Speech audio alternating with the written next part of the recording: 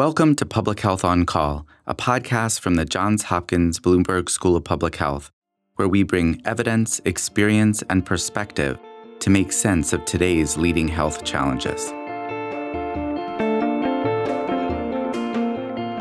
If you have questions or ideas for us, please send an email to publichealthquestion at jhu.edu.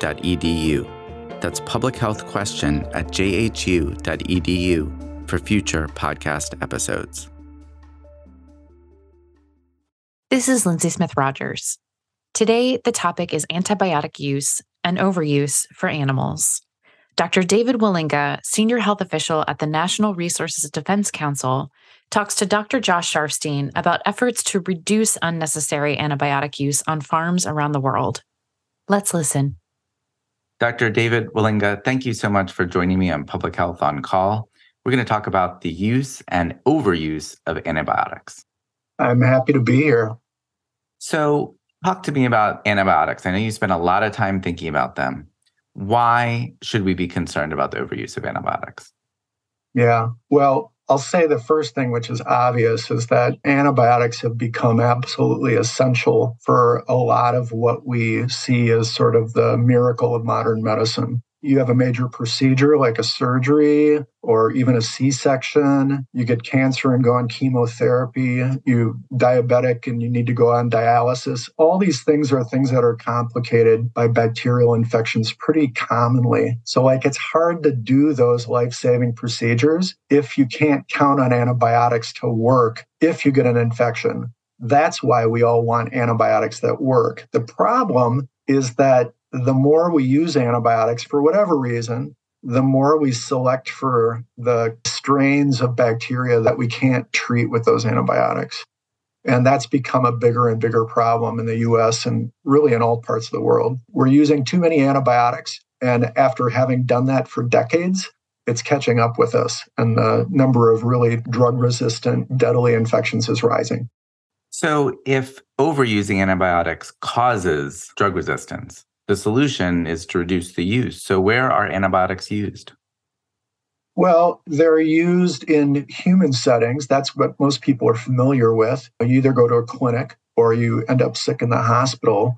And for one reason or another, your caregiver says, Hey, I think you've got an infection. We're going to treat it. So that's where some of the use happens. The shocker is that that's not even close to the majority of how the antibiotics that we rely on in human medicine are actually used.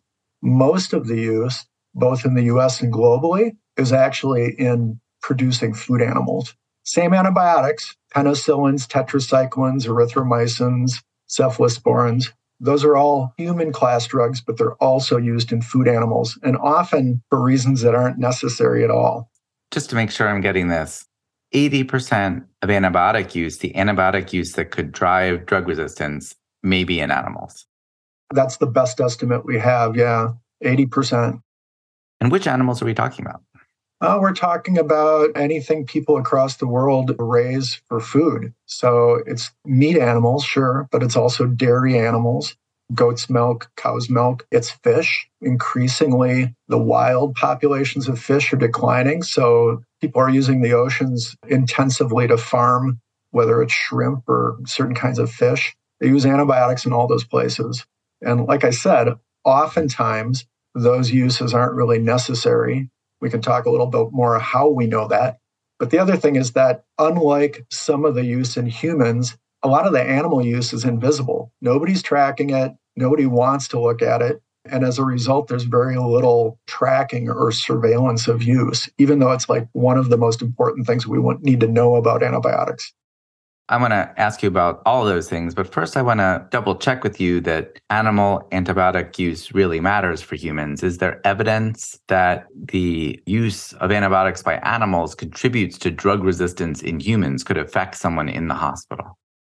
Yeah, there's decades of evidence and it gets stronger and stronger and stronger and stronger. And still, there are folks that say we don't have enough evidence. We need more evidence, just like something else that we're experiencing, namely climate change. For decades, we knew that it was a problem. And yet, there's always folks that want more evidence because they don't really want to do anything about the current practices. So the evidence is hard to understand because resistance is a complicated thing. And there's evidence from a lot of different domains. So there's basic microbiology, even the discoverer of antibiotics. If you go back and look at the Nobel Prize that he got in medicine for figuring out penicillin and how to turn it into a human therapy, he said, you know what? We've got to be really careful because the urge is going to be to use this for everything. But we know, and this was back in the 1920s, by the way, he said, We know that the more we use it, the faster these little bugs that we're trying to fight are going to get resistant to this miracle drug, penicillin. And that's exactly what happened.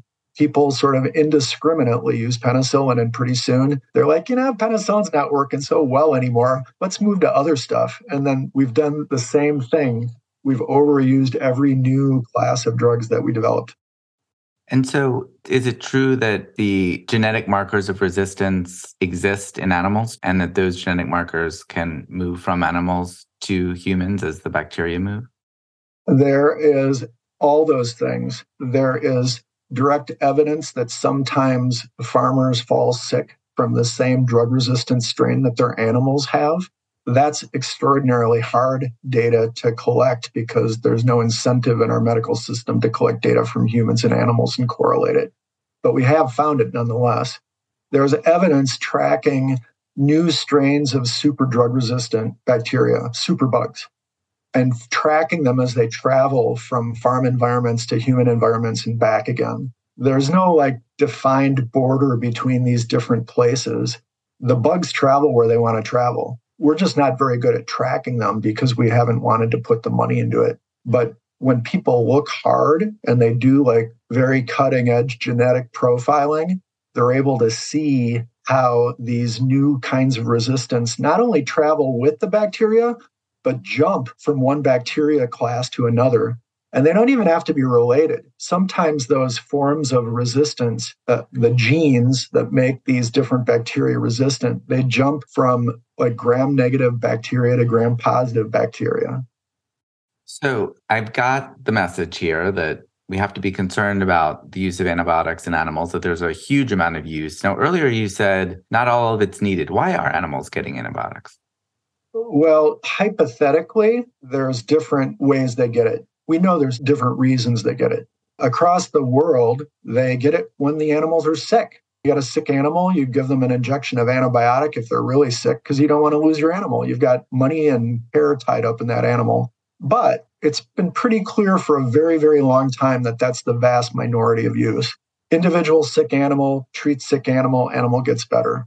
Most of the antibiotics that are important to people are put into animal feed and fed to groups of animals. And oftentimes it's not for the fact that they're sick. In fact, much of the time, there's no evidence that they're sick animals.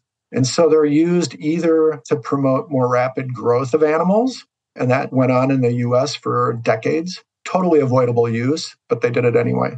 And for years, they said there's no evidence that using these antibiotics for promoting growth in animals is a problem, but that proved not to be true.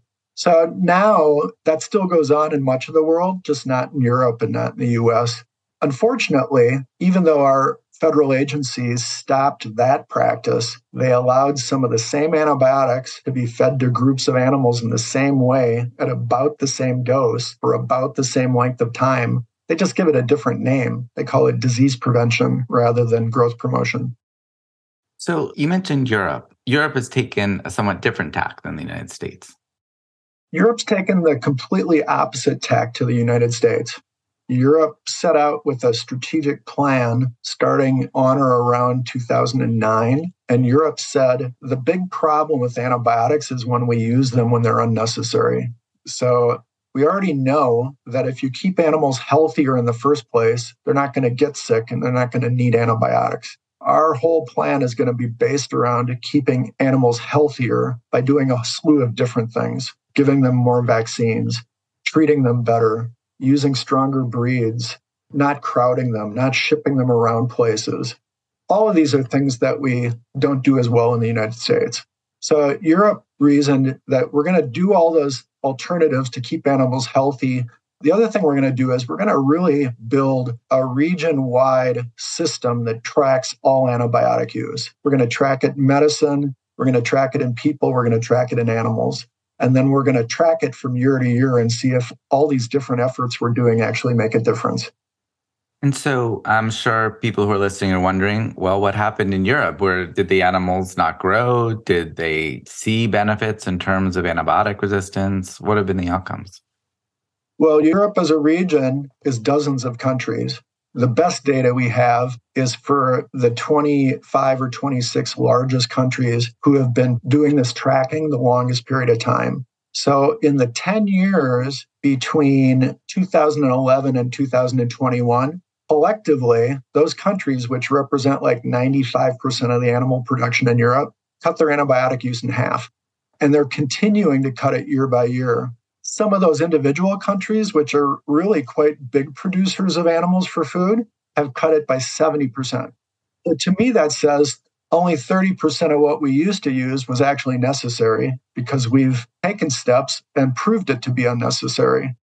And so the animals are still growing Animals are growing. Their com- their industries are profitable. In fact, in some cases in Denmark, they're and in the Netherlands, their industries have grown, but they're using drastically fewer antibiotics. And in some cases, they can track where as the animal use went down, the human infections due to some of those bacteria are less resistant.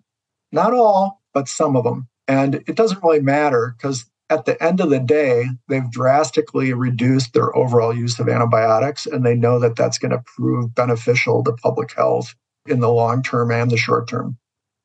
Back in the United States, there has not been a comparable effort to reduce antibiotic use in animals. Is that fair to say? That's more than fair to say. Unlike Europe, the US has not set any goals to reduce antibiotic use.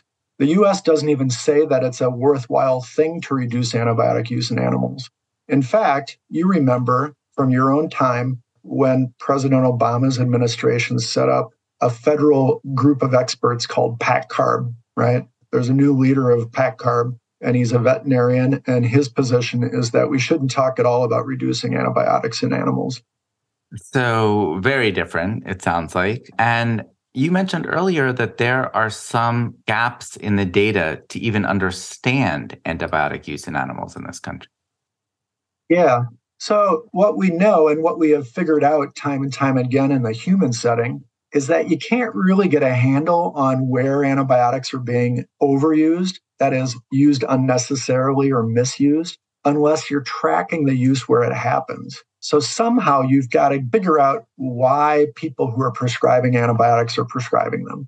You got to figure out what's their motivation. So you have to collect data to answer those questions. It can't just be sales data because it's too generic. You need data from the prescriber or from the pharmacy or, or wherever that tells you the patterns of use. And then you can start answering the question of, like, gee, that's funny. Why are they doing that? And can't we get rid of that? And that's exactly what's not happening on US farms in US policy. We're not tracking use as it's occurring in agriculture at all. How long have you worked on this issue of animal antibiotic use? Since 2000, so 23 years. So you've seen a lot of change in Europe. You've seen some change in the United States. As you look forward, what do you think the prospects are for progress in this country? In the near term, pretty dismal. In the longer term, it depends on how many people die. Because the longer we delay at doing these very basic public health things, the more people die. That's going to happen regardless of the US does a good job leading because these are global bugs. But the US has a better chance of getting a handle on it the more data they collect in the near term and the more they do to reduce use that's unnecessary. Dr. David Wallinga, thank you for coming to talk to me about this, and thanks for your work to protect us all. Thank you. It's my pleasure. Public Health on Call is a podcast from the Johns Hopkins Bloomberg School of Public Health, produced by Joshua Sharfstein, Lindsay Smith Rogers, and Stephanie Desmond. Audio production by JB Arbogast, Holly Cardinale, Philip Porter, Spencer Greer, and Matthew Martin with support from Chip Hickey. Distribution by Nick Moran. Production support from Catherine Ricardo. Social media run by Grace Fernandez and Shian Briscoe. If you have questions or ideas for us, please send an email to publichealthquestion at jhu.edu. That's publichealthquestion at jhu.edu for future podcast episodes. Thank you for listening.